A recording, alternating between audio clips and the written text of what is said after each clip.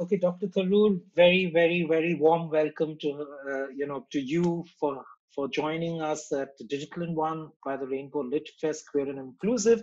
It's a big, big deal for us. It's a huge day, uh, you know, to have someone of your stature address a very, very queer centric, uh, let's say, set of uh, the audience. And so I want to know how does it feel, Doc, uh, if I may call you that, doctor. Call me whatever you like. Yeah, I'm sure. So, Dr. Tharoor, how do you, uh, how does it feel really addressing an audience of this sort? Because largely you must have spoken at very mainstream heterosexual kind of groups. You know, I mean, to begin with, I would argue that that the question itself yes. implies uh, a sense of difference that oughtn't to be there. I, I believe we ought to normalize um, our connections with each other across these divisions. And to my mind, um, uh, it's not my business, frankly, what should be the sexual orientation of audiences I address. Um, I'm assuming that every audience I address is de facto mixed, that there are people uh, in that audience, whether avowed in the closet or otherwise, uh, who, who don't share the sexual orientation of others around them. But that's not why they're there. They're there because they're interested in my book or they're interested in what I have to say or the ideas, or they disagree with me and they want to argue with me, whatever it may be. That's really the level at which we ought to pitch our discourse. So, I actually, uh, Sharif, if you'll forgive me, I'll reject your question because my uh, answer is just as I embrace difference, and I, I believe very profoundly, um, for example, as a Hindu, that that acceptance of difference is central to my faith and my, my beliefs and my and my attitudes to life uh, acceptance of difference also embraces um, uh, uh, other kinds of inclinations than the heteronormative uh, orientation. So um, we're all different and we're all Indian, and some of you are voters, and I want that. So I'm going to talk to you. I'm going to come to that Hindu point a little later in this, sure. uh, uh, you know, keynote conversation with you. So my first question, really, I mean, since we rejected the first question I asked, uh, the first one was when you moved the private member bill. You know, yeah. what was in your mind? Uh, you know, what what came to you at that point? Because it was quite quite surprising for I think a large number of people to to find any politician, an Indian politician, to to actually you know look at Section 377 and want it read down. Well, you know, the fact is that I, I always found it peculiar that uh, this remnant of British colonial law criminalizing homosexuality, which had become a legal tool for the harassment of sexual minorities within India, have been allowed to stand. But then you remember in 2009, which was the year I got elected to parliament, uh, a liberal Delhi High Court judgment essentially decriminalized 377. So for four years, one didn't need to think about it because essentially it was no longer an issue.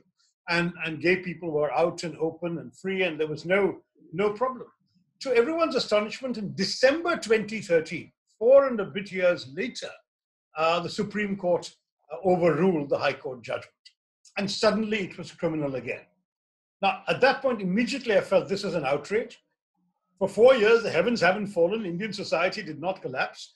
Uh, just because bigots have petitioned to revise and reverse that enlightened ruling, why should you actually set the clock back for human rights? In this case, gay rights in our country. So I decided to do something about it. But in fact, legislatively, we couldn't have done anything in the beginning of 2014 because thanks to the elections coming up that year, yeah. budget session was a truncated two week session. And in those two weeks, no new legislation was introduced, just a budget was passed. And then the, they, they adjourned and the model code of conduct kicked in and so on. So everything depended on liberal minded people coming back to power in 2014, which, as you know, didn't happen.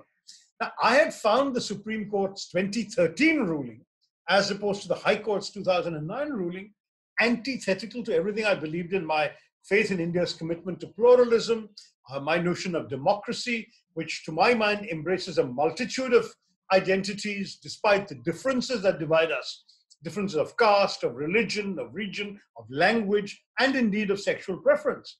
And so that's why I decided I had to introduce a private members bill. So I came up with a bill that would simply have decriminalized, I didn't even abolish Section 377. Yeah.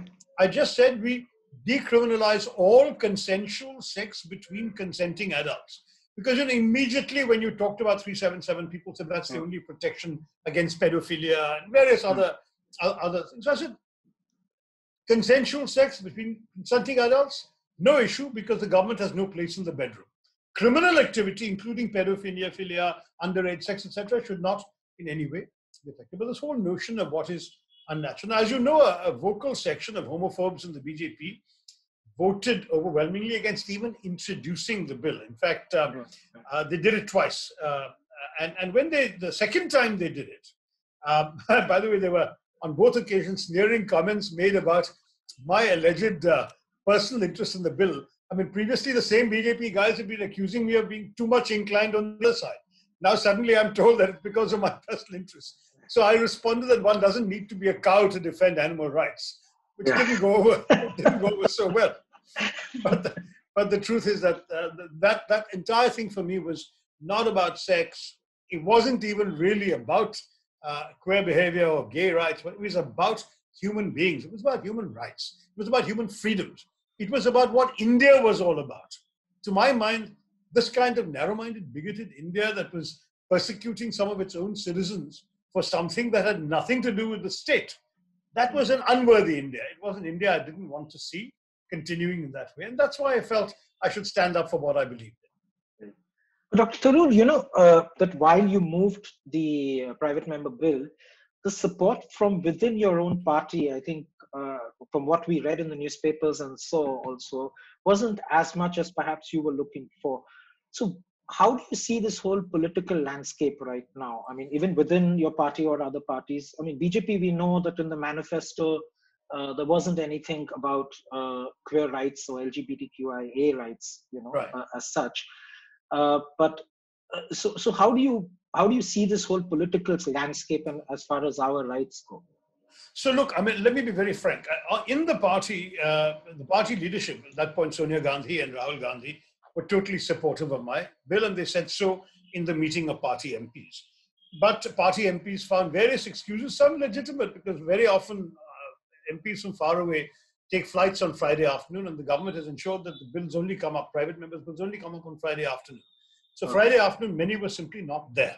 That was one genuine uh, problem, and frankly, as a problem, I would say that uh, that that meant that we didn't have the numbers. Then amongst those who were around, some, when they realized what my bill was about, quietly slipped off to have a cup of tea instead of stay and vote.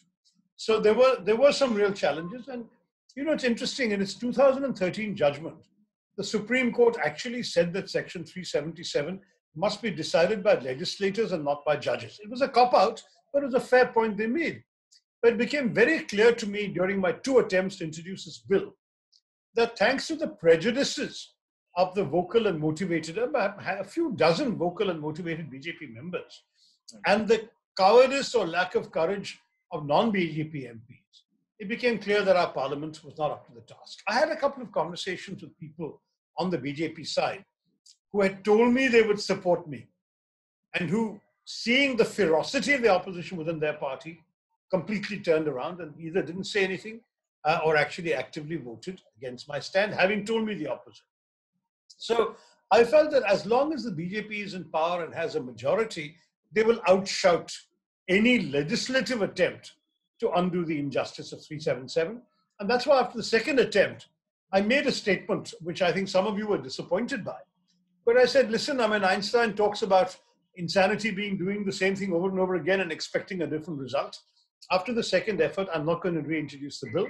I'm going to urge, and I spoke at that time to the Naz Foundation people, Anjali Gopal, yeah. called me. Oh, yes. And I said the only way forward, clearly, is for you to try the legislative route. And, uh, and then two things were tried, of course. There was the review petition, which is the only legal recourse left for a Supreme Court judgment. And then there was that whole other case, Navtej Johar and others. Yes, yes, yes. My good friend Aman Nath was part of that process, and and and I would say that the um, the uh, the right case found the right bench, and that's when the court uh, lived up to its uh, previously exemplary record of expanding human rights in India through its expansive interpretations of the statutes. So, so I believe that they, they, they did the right thing eventually, uh, but my gosh, it took a while, didn't it? Took took uh, such a long while, and so much so that there was this pent up kind of uh, you know angst, uh, anxiety, etc. That on that day, you, I think everyone saw what the Supreme Court looked like in terms of just the sheer presence of uh, people from the community. And but you know, you raised a very interesting point, uh, and you perhaps know the lawyer Anand Grover, who was leading yeah, the case with us. Yeah, uh, Lawyers Collective. yeah. yeah. So Anand at, uh, at a book launch, actually my own book launch uh, last year, and he said uh, that uh, the only option that perhaps before for the community is not politicians or the legislature, and we have to move the courts, and, and that would be, you know, and, and that might be the only way uh, forward, and that could be a reflection even of current politics or whatever other reasons that he he said that. So I want to know from you that that being uh, the kind of reality we live with, and also there is a, a strong feeling that we need a political voice. You know, we do need people who take forth our story. Do you think there is space for people from our community to to to kind of you know come up front in in key parties like the Congress, you know, national parties like that, or other even regional parties and and what do you do you see that happening do you see that happening because you know many minorities are are in a way represented. You know you do have uh, dalit leaders you have you know muslim christian leaders you now have women leaders and all of that. So is there space really for our community? Well you know i think there the route you take um, has to be very calibrated to the political realities of india. Number one we have a parliamentary system, which means parties are very important. It's the party that wins the seat, it's not the individual or the cause. Second, uh, there is unfortunately, uh, for, for, for, for narrower interests, uh, there is no proportional representation. So let's say that uh, uh, uh, a gay platform might get, say, 10% of the vote across India. In, in a proportional representation system, that would give you a voice in parliament. But getting 10% anywhere in any constituency in India will not give you the seat. You might even lose your deposit. So the problem is an exclusively gay platform runs the risk of never actually translating into a parliamentary voice. So my suggestion would have been for the gay community to pursue its politics through pressure groups rather than through a political party. In other words, individual members can join individual parties depending on their other ideological orientations. Mm. But the gay pressure group would pressure candidates of all parties, saying we and our voters will support whoever endorses our uh, manifesto list, as it were. And that means that you would come up with certain points, a checklist of, let's say, four or five things you want uh, government to do. And let's say there are five candidates BJP, Congress, uh, whatever, AIMIM, uh, uh, Samajwadi, different parties, and you would say to them, any of you that's willing to support our points we'll get our support and we'll campaign amongst our members and amongst the gay community for you. Conversely, if you reject our suggestion, we will urge our members not to vote for you. Now it's your choice. We may only be 10%, but can you afford to give up, give up 10% of your voters? Mm-hmm. That I think will be in our system a more effective tactic, in my personal view, and I stress it's a personal view, then um, you're trying to start your own political movement. Having said that, uh, the Congress party has been quite welcoming. I think there was a, a, ceremony in, in Mumbai, or was it in Pune, somewhere in Maharashtra, a few months ago, in which a number of gay uh, and, and, and I mean, it was queer and transgender people joined the Congress party. The Congress party has yeah. historically been open to alternative uh, uh ideas and, and individuals. And I think that if you find that you have a comfortable home there, why not come in? I would only urge that, as in Western democracies, that gay people do not allow themselves to be confined only to the agenda of homosexual rights. Yeah. I mean, I think a gay person would command more political support if he or she were also an expert on, say, public health, on environmental issues, on uh, foreign policy, on security, whatever it may be. I mean, how does a Leo Varadkar, who is openly gay, become Prime Minister of Ireland? because he was highly respected for his politics. And the, the, the homosexual issue came second in, in the terms of his popular yeah. appeal to the electorate. So again, that I, I mean, I, I'm, I'm very conscious that in saying all this, I'm sounding like the sort of hetero guy who's preaching down to you guys. It's not. I'm just giving you what I see as common sense advice, while fully respecting your own rights to take it the way you want to take it. It's interesting. You you talked about you know uh, you know the various things because often the community even as individuals uh, there is always this kind of not exactly a conflict. There is this dilemma of whether you put your sexuality first or whether you get people to recognize you for the various aspects of yourself you know? exactly.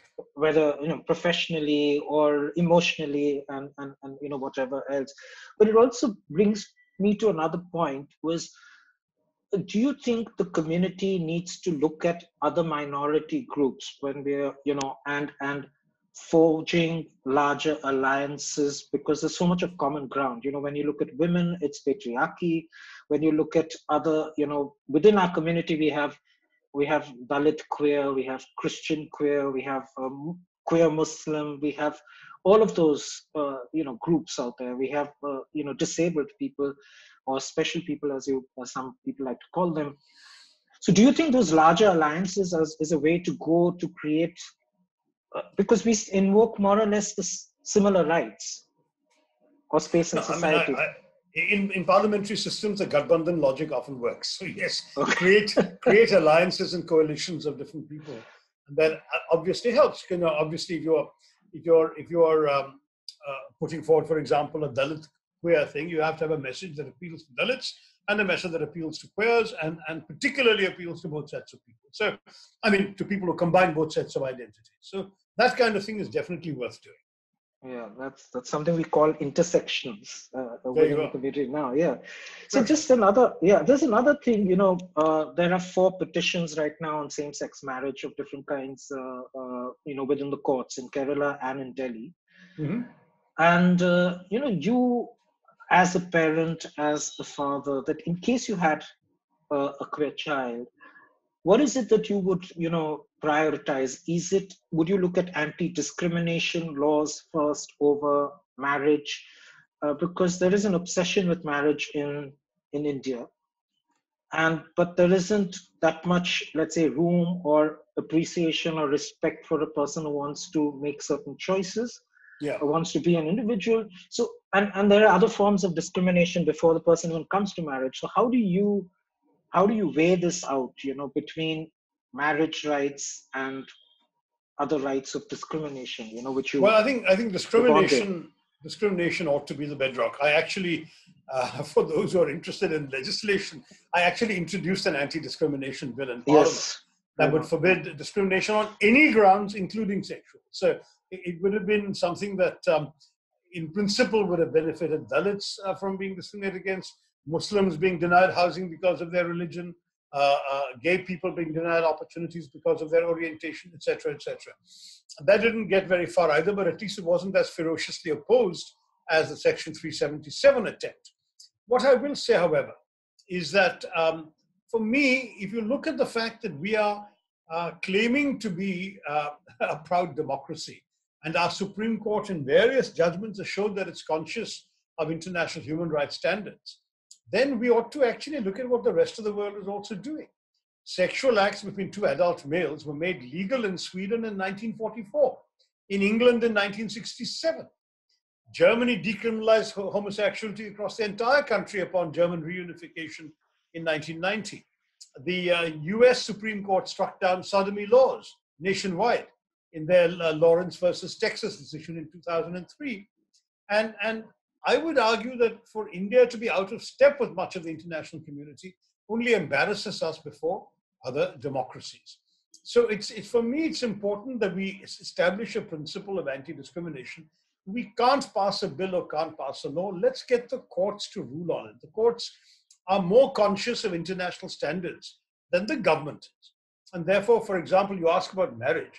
I mean, uh, to my mind, if if we had to settle for civil partnership as an option for the gay community rather than marriage uh, in the formal sense, uh, even that could be an improvement because you're eroding um, opposition from the, the powers that be uh, step by step. You know, it's very interesting when the government was asked by the Supreme Court when they were about to overturn 377 for their views, the government, seeing the writing on the wall, decided they were not going to oppose what the Supreme Court was clearly heading towards.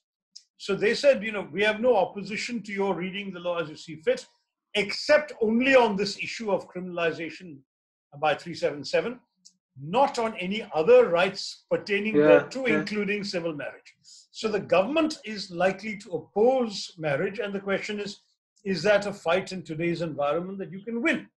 So these are part of the, the, the challenges we have to face. I, I, my, my gut instinct is, um, as a somebody who's seen politics up close now for a dozen years, is to pick your battles wisely. If you feel it's a battle you can prevail in through these cases, great. If these cases go badly, I might regroup and say that it violates the principle of equality before the law. That, for example, a pair of homosexuals in a stable relationship are unable to have any civil rights when it comes to a hospital operation or an inheritance. Uh, of course, yeah. you can write a will, but short of the automatic inheritance right? so choosing a place of burial or a mode of disposal of the remains, all of these things that in a heterosexual relationship the wife can do. So if you were married to a woman, she can sign the consent form for surgery, emergency surgery oh, yes. in the hospital. She can decide whether you're going to be cremated or buried or left to the vultures. She can decide whether you are, you know, she, she automatically inherits if you haven't written a will. All of these benefits that a perhaps very stable, very loving homosexual partnership that has lasted as long as this hypothetical marriage, that that partnership has no such rights and a case arguing that we don't care whether you call it marriage, we don't care if you call it civil partnership, but we should have the same rights. To my mind, that might have been tactically a, a better way to go. But I understand the feelings of these people. I think of two of the cases I'm familiar with, you mentioned four that are currently pending. One was a couple that had actually been legally married in America. They were yes. Indian Americans, so they moved back to India and they said, Why is our marriage not recognized? And that's become a real issue because, for example, if they were American diplomats, posted at the US embassy, their marriage would de facto be recognized because they would Indian government would have to grant the spouse of the diplomat all the rights that a heterosexual spouse would have had. So there are double standards involved, and I think it'd be very interesting to see how the case rules on that. But my argument is a little more simple, a little more basic. It would be simply to argue that all Indians under the Constitution have equal rights. I'm an Indian, and, and you would say if my partner dies, I don't have the same yeah. rights that I would have if, if it was a woman rather than a man. Why is that so? And you can actually begin now, I think, to start pushing the envelope because, in my view, the, the court's awareness of international human rights standards and its desire not to be embarrassed in front of the world may help you. That's that's interesting. I think this debate's going to carry on. We're waiting for the sure. this you know on, on and it's I think we're quite split on this idea of whether it's marriage over discrimination, but there's a growing sense, I guess, uh, that uh, it could be, you know, that anti-discrimination. There's a large group which believes that that's our first steps, you know, but we'll have to see. So, uh, Dr. Tharoor, you know, obviously everyone knows you're a, you're a well-known author. You've had 22 or more best-selling books, and uh, so one of the books, obviously, in the recent years is, uh, which was contro- I mean, maybe maybe most of your books recently have been controversial one way or the other. uh, but why I am a Hindu in 2018, which uh, so it's two years ago. Eh, that book, I mean, I think you put across your idea, and perhaps it's an idea that is, it's not perhaps, I think there's an idea shared by a lot of people on what they believe is uh, being a Hindu. But the book doesn't really go necessarily into the area of sexuality but you made a point right at the beginning uh, about being a hindu and inclusivity you know so to say. So how do you see us as a community within the larger you know hindu space of, of hinduism or well I, I actually made that argument i think if not the first time then the second time that i introduced the bill that one of the incongruous things about the bjp's uh, position is that they claim to be a Hindu party, but they're rejecting millennia of Hindu practice in favor of a British colonial law. The Indian ethos, I argued, has historically been liberal towards sexual difference. Hmm. Neither mythology nor history reveals any record of persecution or prosecution of sexual deviancy in India, that's what the BJP would call it. And Indian culture, Hindu culture, historically embraces such differences, right? So Shikhandi in the Mahabharata was born female and became male the Ardhanarishvara, half man, half woman, is venerated by, by many Hindus. And though we don't talk about it, temple sculptures across India depict homosexual acts. And yet the BJP, the party of Hindutva, chooses to be blind to this Hindu tradition and prefers to support a colonial law that the British themselves outgrew as, as, late, as early as 67. So I would argue that the BJP has betrayed Hindu values, has abandoned our culture, our tolerance, our history of tolerance, in favor of a Victorian moral code that was imposed by the British. And, and now, of course, you can also come in my newest book. I talk about the civic nationalism of India, yeah. which is anchored in liberal constitutionalism. This is my book, The Battle of Belonging. And I would say that it, uh, by the standards of civic nationalism, it is a duty of our, of our legislature and our courts to affirm a pluralist India that accommodates all the identities within our country, lest we undermine the freedom of identity, the freedom of expression that is the backbone of Indian democracy. So what is bizarre about all of this is why uh, this party of Hindu chauvinism uh, has has gone in the direction yeah. that it has uh, and betrayed Hindu traditions. But interestingly, I mean, you know, so you've also made you've had these interviews in UK and various other parts uh, where you've also talked about what India lost in terms of wealth. Yeah. Uh, and so, do you think we also lost a lot of culture because this is uh, a lot of what was considered to be you know hindu culture as, as what you were talking about. So that's also a huge loss which which perhaps is uh, not easy to repair given the mindsets not just of the bjp there are i think families there are various people who still struggle you know if they come out you know and, and Sharif, Sharif you're, you're, totally correct. In fact um, i've talked about in in the book the an era of darkness uh, inglorious yeah. empire in the foreign version. Uh, i've talked about the fact that there is this tremendous assault on uh, what I call colonizing the Indian mind. And certainly, Indian attitudes to homosexuality are entirely a result of British colonialism and not of cultural practice before. In fact, um, uh, homosexual behavior was not just condoned, it was fairly open and, and people were relaxed about it. It's not, was, I don't think the percentage of Indians who were inclined that way, uh, you know, ever was higher or, or, or, or, low. I think in every society, there is a certain percentage of the population who, who are naturally inclined uh, in, in a non heterosexual way. And the only difference is how the rest behave towards these people. Are they judged because of their inclinations? Uh, is there an attempt made to quote unquote cure them and treat them and so on? Is there an attempt made to oppress them and persecute them? Is there an attempt made to, to, to blackmail and exploit them? Uh, those things say much more about the society than they do about that particular community. And so, to my mind, it was quite bizarre. You know, when the Supreme Court in December 2013 recriminalized yeah. 377 and homosexuality, that same Supreme Court, four months later, actually introduced the notion of a third gender uh, in Indian documentation.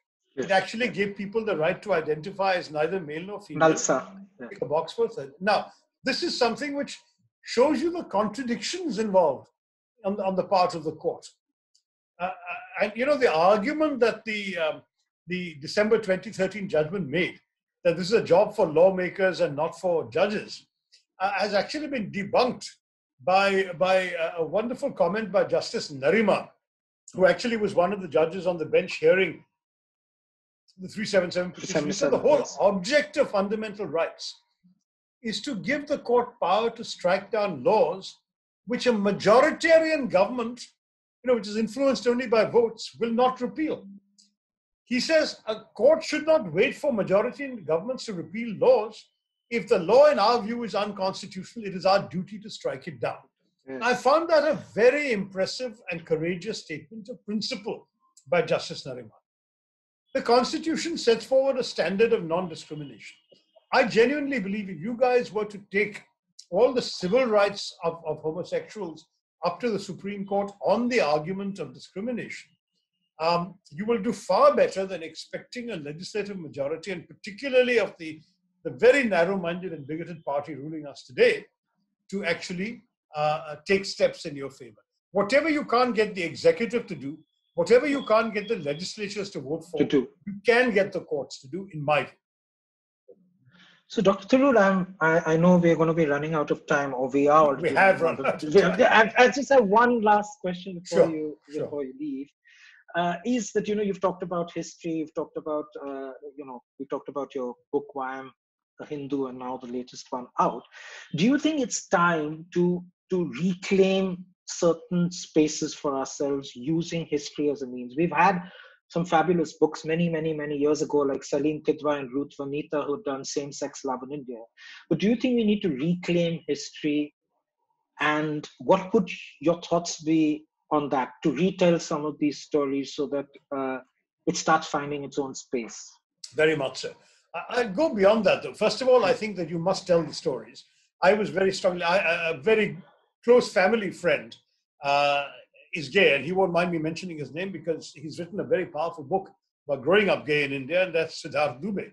Yes, and, and, and, and what Siddharth experienced and, and had to go through, even though some gays will tell you it's probably mild by comparison with what many of them suffered, is, a, is an example of what is wrong from the mere point of view of Indians, or what kind of country we are and we want to be. There are many decent minded heterosexual Indians who would never want a human being to endure what many gay people in India go through as a routine matter growing up in this country. I'm just horrified by the fact that for so many years, um, and you know, uh, one of the excuses that was often made, oh, there not even a thousand arrests a year in the whole country under 377. Oh, but for number. so many years, the law was a tool for harassment, for persecution, for blackmail uh, of, of sexual minorities within India forcing millions of gay men and women to live in fear and secrecy, undermining HIV prevention efforts, contributing to depression and suicides. Uh, but I would say that you should have arguments across the board. You certainly need an argument on the uh, narrative front. Tell the stories of human beings who deserve better. Showcase more people who are willing to come out. I know some fairly prominent Indians yes. um, uh, who are experts and respected experts in certain fields, columnists, economists, uh, scholars and so on who never mention their sexual orientation. Uh, and, and maybe one should encourage more to come out because there could be role models. Uh, there are people who already have a certain standing in society, um, and, and that could help. Uh, a, a, third argument that I'm surprised has never been made is how expensive homophobia is for the economy. The World oh, yeah. Bank did a study, and the last one I saw was 2014. I don't know if they've ever done yeah, it again. Correct. Hmm. that said that India suffers a loss of between 0.1 and 1.7% of GDP because of homophobia. So all of these arguments, all of these narratives, all of these stories need to be told, and in that degree, the space must be reclaimed. But my final message to you uh, uh, that I think will most effectively, it, it, for me, the most effective appeal you can make to the so-called mainstream, the, the, the non-homosexual community, the non-gay community, the non-rainbow community of India, which is the majority apparently, is for you to say to them, is this the kind of country you want India to be? I think it, it, all the things you and I have talked about for the last half an hour are fine, uh, but, but there, is, there is a simple argument. Why do you want to reduce India to a country where a section of your own people are unable to lead normal lives? Can any Indian Democrat hold his or her head up with pride and walk with dignity and freedom as long as somebody from the LGBT community is unable to hold his or her head up with pride and walk with dignity and freedom? I mean, this is the classic democratic principle. If you want a country where all are equal in rights, where all talents are respected, and you want everyone to contribute effectively to the growth, prosperity, and safety and security of your country, don't you think that you need to actually uh, uh, uh, end discrimination in your own interest? You know, don't you want an India you can be proud of? Do you want an India where you're demonizing a section of your people? I mean, I, I think that argument should work to most fair minded and democratic minded Indians. And certainly, those were the considerations that impelled me to take a stand even though I'll be very honest with you, a very uh, significant number of prominent people in my constituency uh, uh, uh, turned against me. Or let me say, I had people who were my political supporters saying to me, Why must you do this? And a very, very prominent figure from a religious leadership, I won't name him because he'll be immediately identified as a private conversation. He said to me, Listen, we like you. Why are you doing something that will make us why are you doing something that will make us turn against you? And I said, because it's not about you, it's not about me, it's about not about any of the things you like or dislike. In politics, it's simply about human rights for people you're not bothering to notice. And I think I think some of these stands in the at the end of the day, uh, if you have the courage of your convictions, most people will will respect that. And I don't believe I lost any votes because of the stand I yeah. took. That's that's that's my. You're a, my three, you're a three you're a three-time winning MP. There you are. So I mean, I, I, I actually increased my majority between 2014 and 19. Uh, during that period is when I took the public stand that uh, uh, if people had decided to hold it against me, they should have nursed a grudge about that. It didn't even become much of a campaign issue. So I think India is evolving and moving on. We just need to have people standing up for what's right. I hope I've done so today with you, and you yeah. should get more and more people to do so uh, across the country. Good luck, and I wish Rainbow a very successful festival. Thank you so much, Dr. Tharoor. Thank you so much for, for being with us. And uh, yeah, it is a historic moment uh, to have someone like you with us. And I hope that you make it to the physical festival, you know, sometime in the future. In a post-COVID world. In a post-COVID world, yes. yes. Thank, thank you so all. much. Doctor. All the best thank you. Thank you, thank you, thank you so much.